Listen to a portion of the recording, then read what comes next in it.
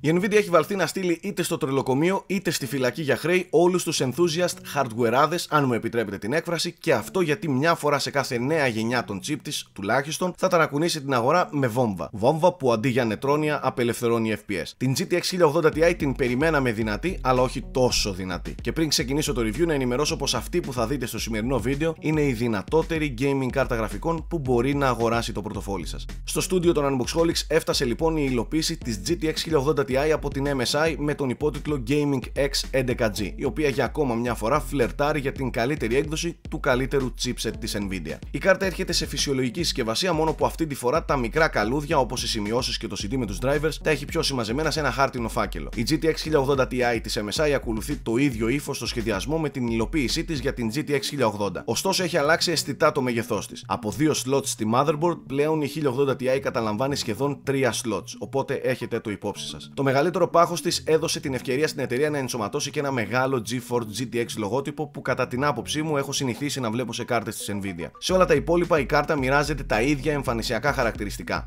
Τον ίδιο επιθετικό σχεδιασμό με τα πτερίγια, τα φωτεινά LEDs ενδιάμεσά τους, το κατάμαυρο βαρύ backplate στο PCB και ούτω καθεξής. Το σύστημα ψήξης για ακόμα μια φορά είναι το Twin Frozer 6 με τους δύο μεγάλους ανεμιστήρες νέας γενιάς, το Rex 2 τους λέει η εταιρεία, να ψύχουν το αισθητά πιο παχύ heatsink το οποίο με τη σειρά του βοηθάει τους 8 χιλιοστών heat pipes να αποβάλουν αποτελεσματικά τη θερμοκρασία από το ανήσυχο chip. Και τα καταφέρνουν υπέροχα αφού η κάρτα σε load δεν ξεπερνάει τους 70 βαθμούς Κελσίου. Τα ίδια καλά λόγια έχω να πω και για τα επίπεδα θορύβου και μην ξεχνάτε πως οι ανεμιστήρες ξεκινούν να περιστρέφονται μόνο αν η κάρτα ξεπεράσει τους 60 βαθμούς Κελσίου. Μέχρι εκείνο το σημείο η κάρτα είναι εντελώς αθόρυβη. Σε ό,τι έχει να κάνει με την κατανάλωση ρεύματος, δεδομένου πάντα των αναλογιών, έμεινε εξαιρετικά ικανοποιημένος μιας και το chip μέσω των δύο 8 πίνων υποδοχών ζητάει από το τροφοδοτικό περίπου 285 W σε load. Αυτό σημαίνει πως ένα ποιοτικό τροφοδοτικό, και τονίζω το ποιοτικό, άνω των 600 W θα πρέπει να θεωρείται δεδομένο. Στα της συνδεσμολογίας, η κάρτα χαρίζει 2 DisplayPort 1.4, 2 HDMI δεύτερης γενιάς και μία DVI-D θύρα. Φυσικά η διάταξη σε SLI υποστηρίζεται κανονικότατα. Η GTX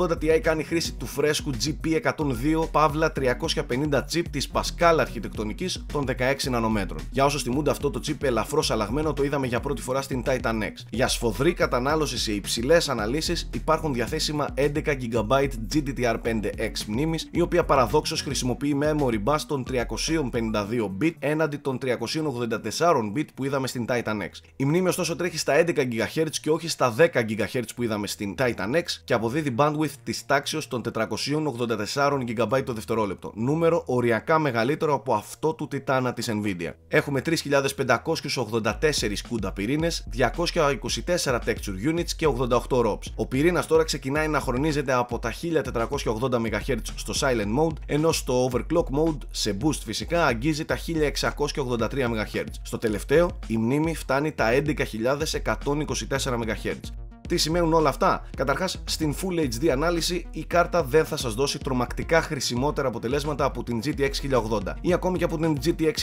1070. Εκεί που δείχνει τα δόντια της και αποτελειώνει όλους τους αντιπάλους της είναι σε 2K και 4K αναλύσεις. Όσο ανεβαίνει ανάλυση, τόσο περισσότερη δύναμη έχει να σου διαθέσει αυτό το τέρας. Αρκεί βέβαια να έχεις και τον κατάλληλο επεξεργαστή. Όντας κάτοχος της GTX 1080 εδώ και καιρό και παίζοντας σε 4K αναλύσεις, είδα τον counter των FPS να ανεβαίνει επικίνδυνα πολύ και αρκετές φορές η διαφορά με την ήδη παντοδύναμη GTX 1080 να αγγίζει τα 30 fps. 30 fps σε συνθήκες 4K και σε ultra settings των πλούσιων σε τεχνολογίες παιχνιδιών του σήμερα να ξέρετε ότι είναι μια πολύ μεγάλη υπόθεση. Η κάρτα αυτή κερδίζει στα σημεία ακόμη και την Titan X που είναι πολύ πιο ακριβή και την κάνει να κοκκινίζει από το κακό της.